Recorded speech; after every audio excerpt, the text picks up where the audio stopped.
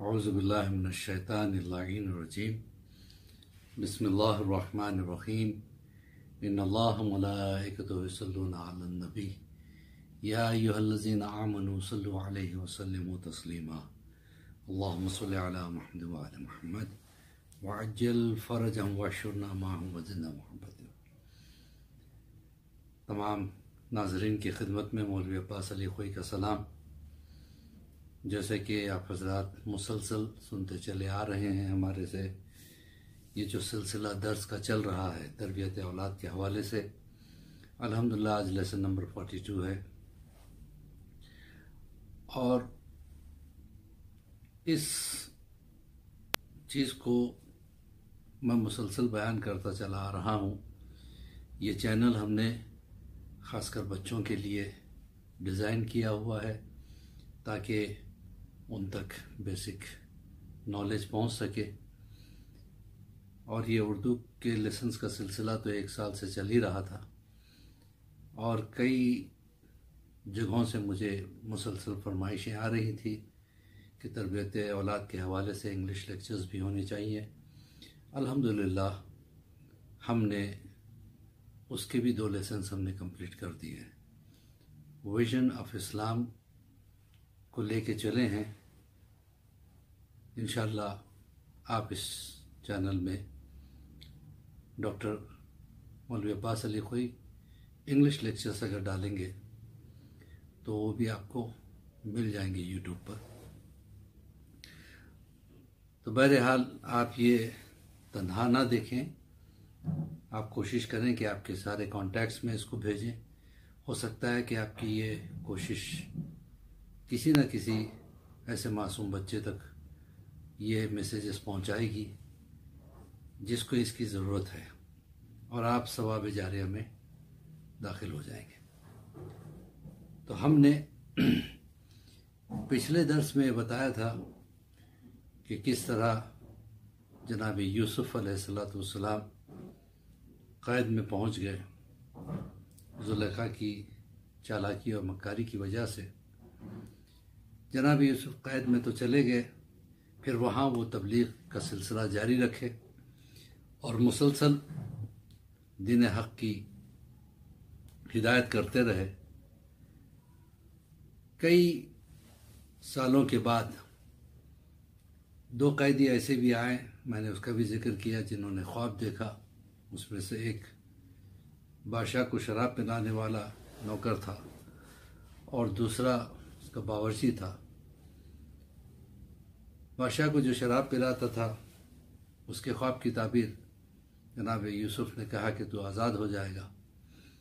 لیکن جب بادشاہ سے ملنا تو کہنا کہ مجھے بے گناہ قید کیا گیا ہے۔ اور اللہ کو یہ بات پسند نہیں آئی کہ میرے ہوتے ہوئے یوسف نے بادشاہ سے کیوں امید رکھائی؟ بہرحال، کسی طریقے سے ادھر تو جناب یوسف منتظر تھے اور وہاں پہ وہ جو شراب پلاتا تھا، وہ اپنی نوکری پہ پہنچا لیکن بھول گیا، اس کے ذہن سے بات نکل گئی۔ ایک عرصے دراز کے بعد جب بادشاہ نے خواب دیکھا، بادشاہ نے اپنے وزراء کو بلایا، اراکین کو بلایا اور کہا کہ میں نے عجیب و غریب خواب دیکھا۔ میں نے دیکھا کہ سات دبلی پتلی گائیں ہیں جو سات موٹی موٹی گایوں کو کھا رہی ہے۔ اسی طریقے سے سات جو ہے نا گیہوں کی ہری بالیاں ہیں اور سات خشک بالیاں ہیں۔ خشک بالیاں ہری بالیوں کو کھا رہی ہیں، سبز بالیوں کو کھا رہی ہیں۔ یہ خواب مجھے سمجھ میں نہیں آ رہا، اس کی تعبیر بتاؤ۔ انہوں نے کہا کہ ہمارے پاس اس کی تعبیر نہیں ہے، ہم نہیں بتا پائیں گے، ہمیں خود سمجھ میں نہیں آ رہا ہے۔ یہ بات یہ جو شراب پلاتا تھا بادشاہ کو، اس نے سنا تو اس کو جناب یوسف یاد آ گیا۔ اس نے کہا، بادشاہ سلامت، میں معافی چاہتا ہوں۔ مجھے یہ بات بہت پہلے آپ کو بتانی چاہیے تھی کہ یوسف نے کہا تھا کہ وہ قید سے تنگ ہو گئے ہیں۔ اور وہ بے گناہ ہیں۔ اور ان سے بہتر کوئی خواب کی تعبیر نہیں بتا سکتا۔ اگر آپ اجازت دیں تو میں خود جاؤں اور جو ہے نا یوسف کے سامنے اس خواب کو پیش کروں۔ اور تعبیر حاصل کروں۔ بادشاہ نے کہا، ٹھیک ہے۔ یہ گیا، جناب یوسف سے ملاقات کی اور کہا کہ ایسا ایسا خواب بادشاہ نے دیکھا۔ آپ بتائیے، اس کی تعبیر کیا ہے؟ ہو سکتا ہے آپ کی تعبیر سن کے بادشاہ خوش ہو جائے اور آپ کو قید سے آزاد کر دے۔ جناب یوسف نے کہا کہ اس کی تعبیر یہ ہے کہ سات سال بہترین اناج اگے گا۔ کھیتیاں سرسبز ہوں گی، شاداب ہوں گی، لیکن اس کے بعد سات سال تک قحط رہے گا۔ اگر یہ جو بہترین کھیتیوں کا زمانہ ہے، اس میں اگر اناج کو بچا کے رکھا جائے، تو آنے والا قید کا زمانہ جو ہے نا، انسان پریشان نہیں رہے گا۔ یہ اناج اس وقت تقسیم کیا جا سکتا ہے۔ جب اس غلام نے آ کے بادشاہ سے کہا کہ آپ کے خواب کی یہ تعبیر ہے، اور جناب یوسف نے آپ سے کہا ہے کہ وہ بے گناہ ہے۔ تو بادشاہ کو تشویش ہوئی۔ زلیخا کو بلایا کہ سچ سچ بتا کہ تو نے کیا حرکت کی۔ زلیخا نے اپنی غلطی کا اقرار کیا، پھر بادشاہ نے ان سہیلیوں کو بھی بلایا، ان سے بھی دریافت کیا، کہا کہ ہاں یوسف بے گناہ۔ تو جناب یوسف کو بادشاہ نے آزاد کر دیا اور اپنے دربار میں انہیں جو ہے نا بلایا اور کہا کہ دیکھو ایسا ہے کہ اب ہم تمہیں باعزت بری بھی کرتے ہیں اور تم جو خواب کی تعبیر بتائے ہو اس حساب سے ہم چاہتے ہیں کہ یہ ذمہ داری ہم آپ کے سپورٹ کر دیں۔ جناب یوسف نے کہا، ٹھیک ہے، میں ذمہ داری لینے کے لیے تیار ہوں۔ اور جناب یوسف نے بہترین طریقے سے ذمہ داری کو نبھایا۔ یہاں تک کہ جب وہ جو ہے نا بہترین اناج کا سیزن تھا، اس میں جناب یوسف نے اناج کو سٹور کیا اور قحط کے زمانے میں اناج کو جو ہے نا غریبوں میں، سستے داموں میں جو ہے نا بیچنا شروع کیا۔ اس طرح سے یہ حکومت جو ہے پریشانیوں اور بلاؤں سے محفوظ ہو گئی۔ بادشاہ کو یہ ادا بہت پسند آئی۔ یہاں تک کہ جناب یوسف عزیز مصر بن گئے۔ اور جب عزیز مصر بن گئے اور قید کا جب زمانہ چل رہا تھا، اس وقت کنعان سے جہاں جناب یعقوب ہوا کرتے تھے، وہاں لوگوں کو پتا چلا کہ مصر میں اناج سستے داموں میں مل رہا ہے۔